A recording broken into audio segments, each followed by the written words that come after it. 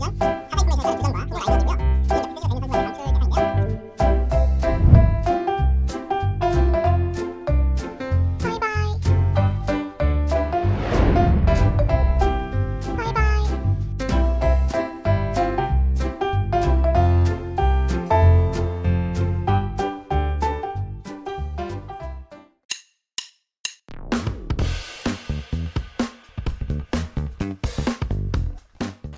이강인 주전은 좋은데 발렌시아 망하는 거 아니야 이거? 시간입니다. 말 그대로 이강인의 주전 가능성은 높아졌지만 소속팀 발렌시아가 좀 우려스러운데요. 8월 11일 현재 발렌시아가 어떤 상황인지 이강인에게 어떤 영향이 갈지 이야기해 보겠습니다.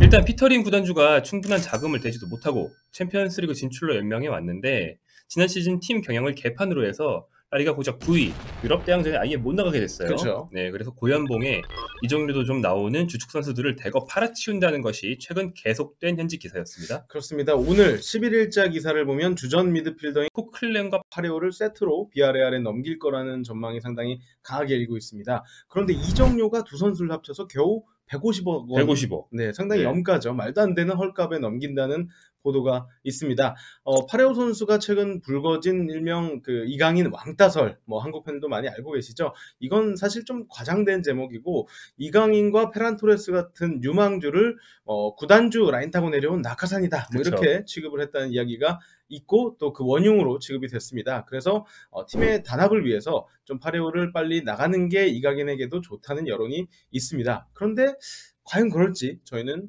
조금 조심스럽습니다. 왜냐하면 이강인 뒤에서 후방 볼 배급과 수비를 맡아줄 선수들이 죄다 팀에서 떠날 수 있는 위기 상황이 올 수 있기 때문입니다. 그렇죠. 이강인 뒤에서 선수가 죄다. 그렇죠. 자, 과연 발렌시아가 방출하려는 선수들을 다 내보내면 어떻게 될까요? 그림으로 한눈에 확인해 보겠습니다. 442 포메이션에 따른 주전과 후보 네. 라인업이고요. 이 선수들 중에서 이미 이적했거나 방출설이 있는 선수들을 이제 표시를 해 보겠습니다. 이름 옆에 표시가 되어 있는 선수가 이제 방출 대상인데요. 자, 저 중에서 토레스와 가라이는 방출 확정이고요. 네. 코클렌과 파레오는 확정적이라고 보시면 되겠습니다. 그 외에 뭐 콩도그비아, 로드리고 등은 이적 시장에 내놓았지만 잔류할 수도 있는데요. 자, 하비그라시아 감독은 4-2-3-1을 쓸 생각이라고 알려져 있습니다. 전부 방출했을 경우에 포진을 짜 보겠습니다.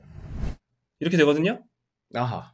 자, 발렌시아가 내보내고 싶어하는 선수를 다 빼고 나면 저렇게 됩니다. 이거 뭐 숫자지만도 못한 스쿼드예요. 어, 강등을 할 수 있는, 네. 강등을 목표로 한다면 이런 스쿼드를 내놓을 수 있죠. 이게 11명만 저희가 모아서 산 게 아니고 일부 포지션에는 후보가 있잖아요. 네. 후보까지 탈탈 털었는데 이거밖에 안 돼요. 특히 음. 라토와 제이슨 같은 경우는 임대 복귀 선수까지 다 넣은 건데도 어, 12명밖에 안 나옵니다. 이 정도밖에 안 되거든요. 뭐 실제로 방출에 다 성공하진 못해서 이거보다는 몇 명 더 있겠지만 일단 현재 계획이 이렇다는 겁니다. 바스도 억지로 저희가 미드필더에 배치한 거고 현재 본업은 풀백이거든요. 그러니까 지금 발렌시아는 딱 3명 있는 수비형 미드필더를 전부 다 내보내려고 그러는 거예요. 말도 안 되는 거죠. 왜냐하면 전술적으로 보면 이강인한테도 좋은 상황이 아니라고 볼 수 있습니다.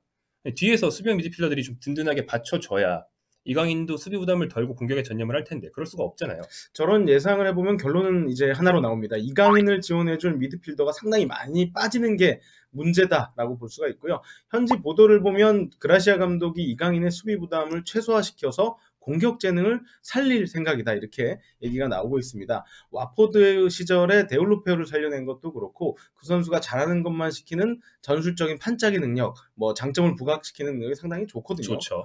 그런데 이강인 선수 대신 중원 자각을 해줘야 되는 선배들이 다 빠지면 팀의 경기력 자체가 무너지고 그 구심점 자체도 사라지는 그리고 결과적으로는 이강인에게는 공이 오지 않는 그런 상황이 벌어질 수도 있다는 그런 결론이 나옵니다. 일단 이적설이 나는 미드필더 중에서는 콩도그비아가 최소한 잔류를 할 수 있을 것 같고 아주 건실한 미드필더가 한 명 영입이 돼서 이강인의 뒤를 받쳐주는 구도를 기대를 해봐야 될 것 같습니다. 네, 콩도급이야. 네. 일명 이제 국내 별명 콩게. 하, 콩게는 좀 네. 남아주기를 우리가 기대해야 되는 상황이 됐다. 네. 자 이적 시장은 아직 많이 남았으니까 발렌시아가 정말로 뭐 방출만 하고 그러지 않겠죠? 아까 그쵸. 저희가 그린 거는 방출만 가정한 거고 영입은 가정 안 한 거기 때문에요.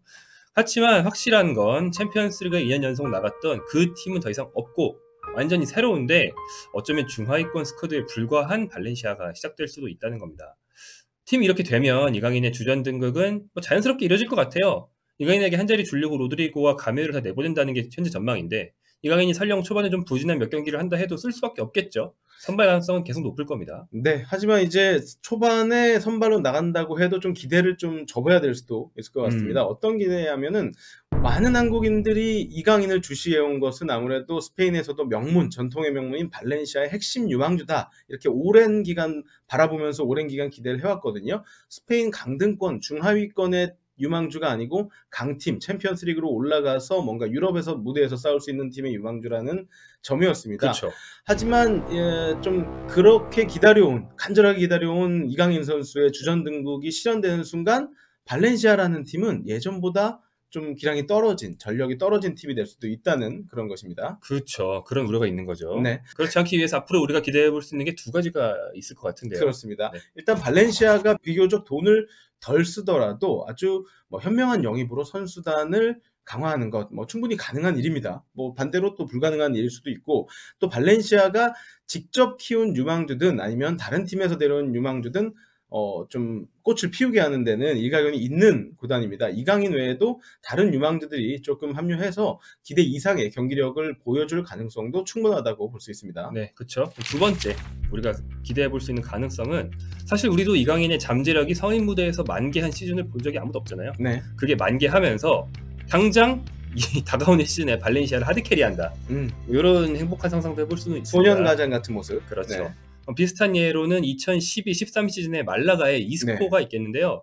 이게 현재 발렌시아 비슷한 점이 뭐냐면 카타르 자본이 말라가에 들어갔다가 발을 갑자기 뺀 시즌이에요. 네. 그래서 갑자기 투자가 위축되면서 간판 스타였던 카소를라, 론돈, 몬레알 또 이제 수비의 축이 될 걸로 생각하고 데려왔었던 마타이센 등이 우르르 나가는 위기를 맞았습니다. 이때 펠레그리니 감독의 지도력과 이스코의 급성장으로 리그 6위, 챔피언스리그 8위라는 성과를 냈고 이스코는 곧장 레알 마드리드로 네. 이적하게 되죠. 어쩌면 이번 시즌 발렌시아가 기대할 수 있는 최고의 시나리오가 바로 이걸 수도 있습니다. 네. 어, 2012-13 시즌의 말라가 같은 모습. 다시 말하면 이강인이 9년 전 이스코 정도로 해줄 거라고 은근히 피터림 구단주와 발렌시아 측은 기대를 하고 있다. 아름다운 동화의 주인공이 될 수 있다. 이런 기대를 구단이 하고 있다는 뜻도 되는 거죠. 네. 그렇게 되기를 뭐 저희는 당연히 바라죠. 같은 한국인이니까. 네, 간절히 기도합시다.